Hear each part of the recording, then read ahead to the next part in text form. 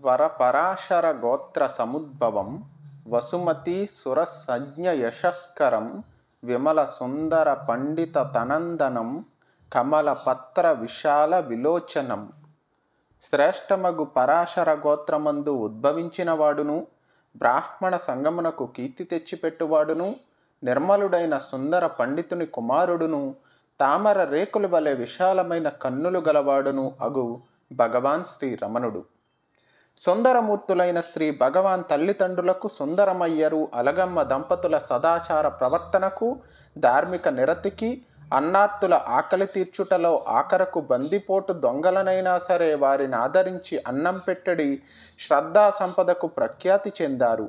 భగవాన్ రమణులు మహారుషులలో మహర్షి వేద ప్రమాణమునకు అనుగుణ్యమైన ఆధ్యాత్మిక పరిపూర్ణతను రూఢిపరచుటకుగాను అవతరించారు. భగవాన్ రూపమే ఒక ఆధ్యాత్మిక శక్తి ప్రసారము చేసేడి కేంద్రము.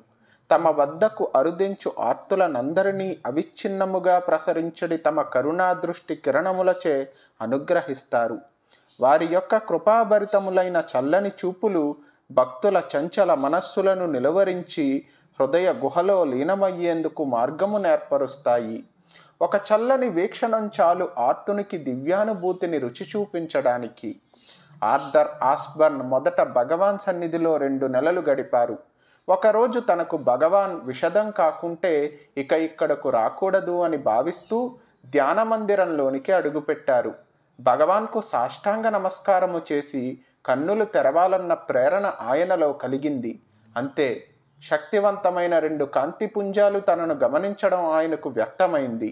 ఆ కాంతిని భరిస్తూ తన కళ్ళు తెరిచి ఉంచడం కానీ లేక మూసుకోవడం కానీ చెయ్యలేకపోతున్నాడు భగవాన్ యొక్క తేజోమయమైన చూపులు అతనిలోనికి చొచ్చుకుని వెళుతున్నాయి. నా శరీరంలోని అణువణువు వారి ఆకర్షణీయమైన ఆ అయస్కాంతపు చూపులచే స్పృశించబడ్డాయి అని తమ అనుభూతిని వెల్లడించారు ఆస్బన్. ఆ చైతన్య స్రవంతిలో మునకలు వేశారు. ఆ విధంగా తామిద్దరూ అభేదమని భగవాన్ ఆయనకు అవగతం చేశారు. భగవాన్ మనలో ఒకరుగా మన మధ్య నడయాడారు.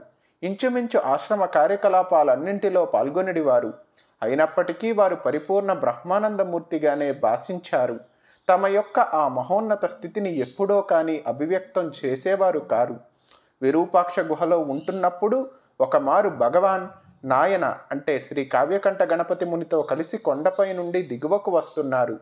కొన్ని అడుగులు నడిచి భగవాన్ ఆగిపోయారు. చైతన్యవంతములైన దయాభరితములైన తమ చూపులను నాయన వైపు త్రిప్పి చంద్రుని వెలుగుతో నిండి ఉన్న ఆకాశం చూపుతూ భగవాన్ ఇలా సెలవిచ్చారు. సూర్యుడు చంద్రుడు నక్షత్రాలు అన్నీ నాలో నడయాడుతున్నాయి. అడుగో సూర్యుడు నా నడుము చుట్టూ తిరుగుతున్నాడు. ఆ క్షణంలో నాయనకు అక్కడ భగవాన్ లేరు. వేదాలలో వర్ణితమైన మహాపురుషుడు దర్శితమయ్యారు. ఈ చరాచర ప్రకృతి అంతా భగవానే. ఇవన్నీ భగవాన్లో లీనమై ఉన్నాయి. ఆయన కానిదేదీ లేదు. ఆ దివ్యానుభూతిలో నాయన పులకించిపోయి